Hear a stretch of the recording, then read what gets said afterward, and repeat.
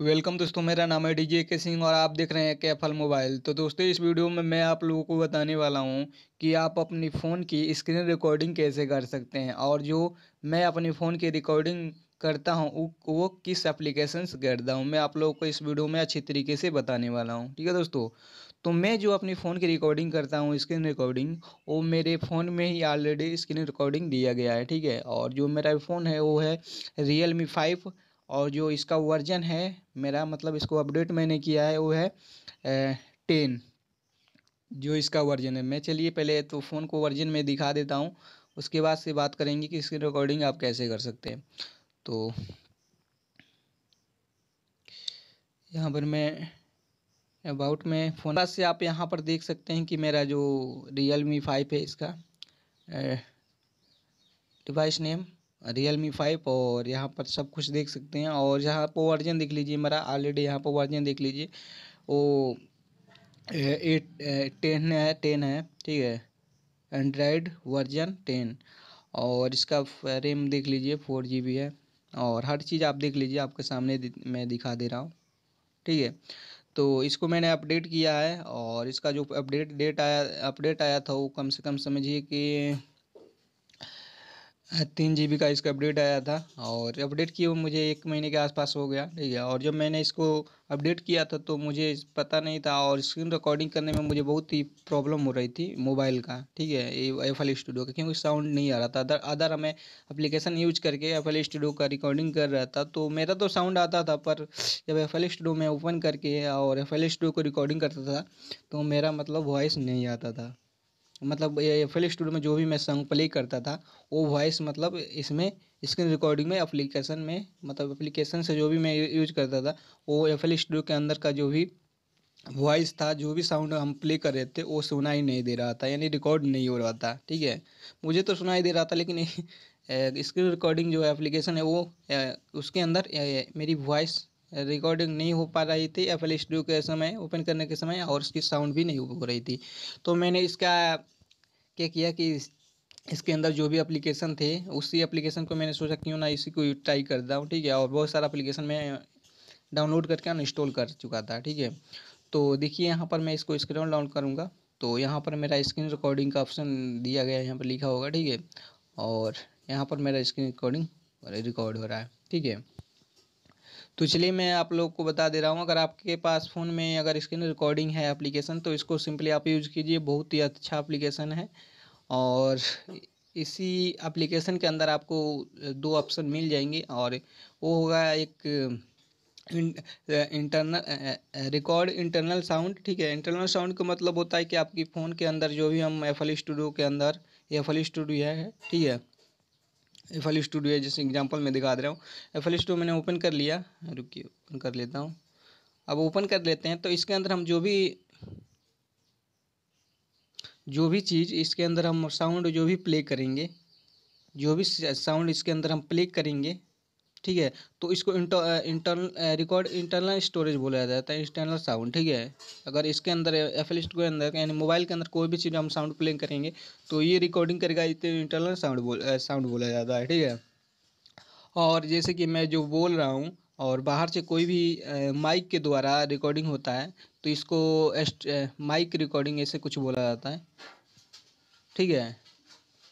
तो ये काम इसके एफ़ एल स्टूडियो मतलब मोबाइल के अंदर जो भी स्क्रीन रिकॉर्डिंग इस समय दिया जा रहा है, ये दोनों एक ही साथ काम कर रहा है, ठीक है? और इसमें भी ऑप्शन है, आप सेटिंग में जाकर देख लीजिएगा, जब आप ओपन कीजिएगा स्क्रीन रिकॉर्डिंग ना तो यहाँ पर एक सेटिंग का ऑप्शन दिखा, उसके अंदर जाकर वो दोनों को आपको ऑन कर देना होगा। इंटरनल और इंटरनल माइक साउंड जो होता है माइक्रोफोन साउंड इसको आपको दोनों को ऑन कर देना होगा, तभी जाकर आपका अच्छी तरीके से मतलब एफ़ एल स्टूडियो का भी मतलब मोबाइल का भी साउंड और आप बोल रहे हैं वॉइस दोनों काम करेगा। तो चलिए अब अगर आपके पास इस प्रकार का फ़ोन में नहीं दिया है तो कौन सा एप्लीकेशन आप यूज़ कर सकते हैं? मैं चलिए बता दे रहा हूँ।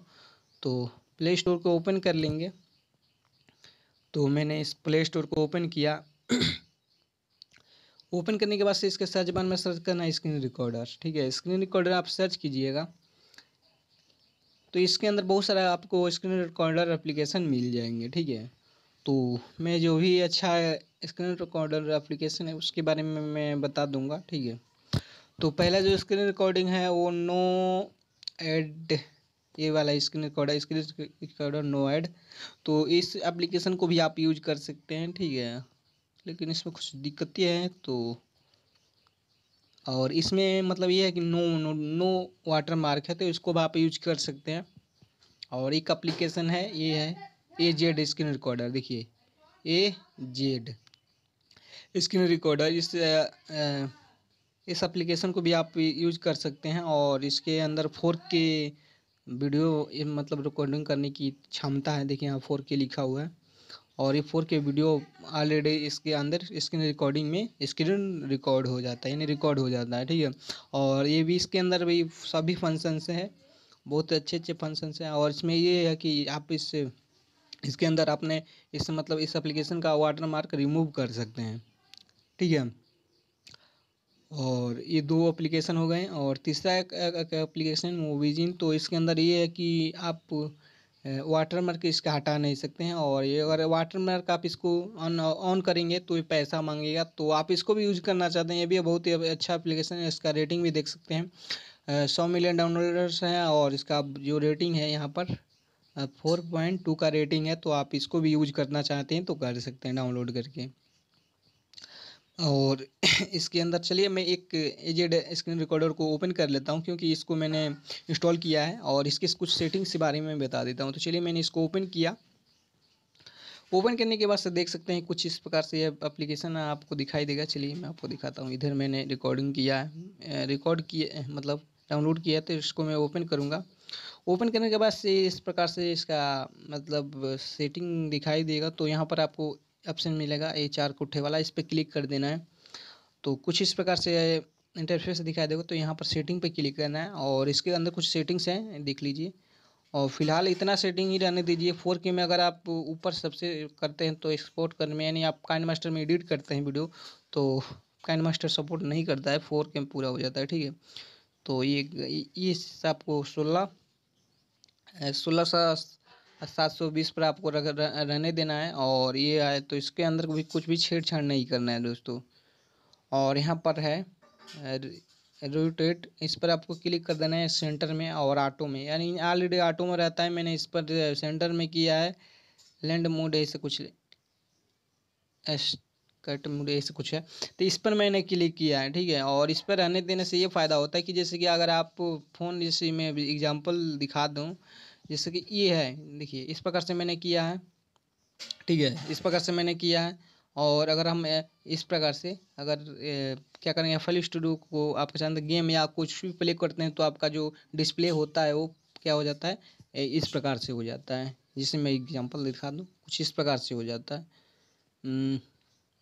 एफ़ एल स्टूडियो से ओपन कर ली तो इस प्रकार से दिखाई दे रहा है ना तो इस प्रकार से हो जाता है।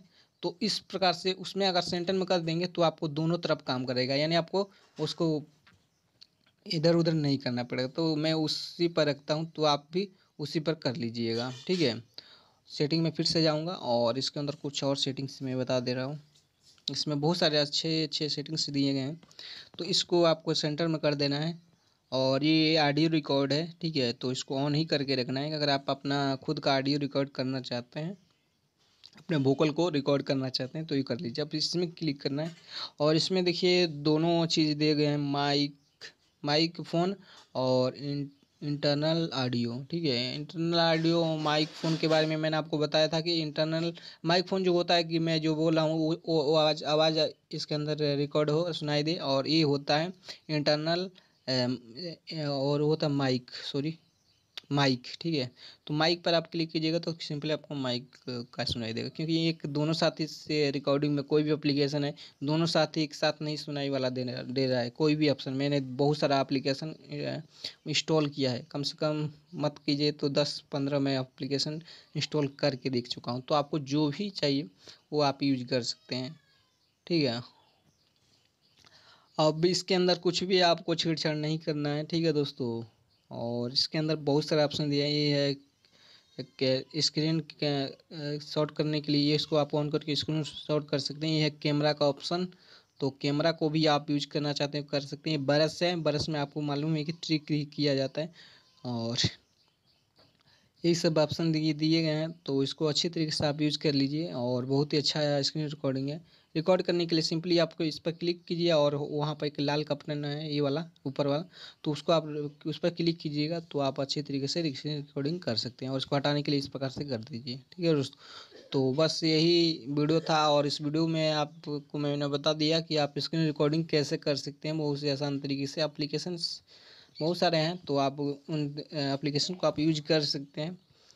और ये मेरे पास तो मैं जो रिकॉर्डिंग कर रहा हूँ उस समय स्क्रीन रिकॉर्डिंग वो मेरे ऑलरेडी ऑलरेडी फ़ोन में दिए गए हैं स्क्रीन रिकॉर्डिंग तो उसी से मैं इस मतलब रिकॉर्ड कर रहा हूँ। तो अगर आपके पास भी कोई फ़ोन हो तो उसके अंदर इस रिकॉर्डिंग का ऑप्शन दिया गया तो आप उसको रिकॉर्ड कर सकते हैं। तो बस यही वीडियो था। तो दोस्तों, मिलता है अगले वीडियो में, और वीडियो बहुत लंबी हो चुकी है। अगर आपके मन में कोई भी सवाल हो तो कमेंट बॉक्स में कमेंट कर सकते हैं, ठीक है? और लाइक कर दीजिए वीडियो को, और इस चैनल पर नहीं तो चैनल को सब्सक्राइब कर दीजिए। तो बस मिलते हैं अगले वीडियो में तक धन्यवाद। जय हिंद, जय भारत।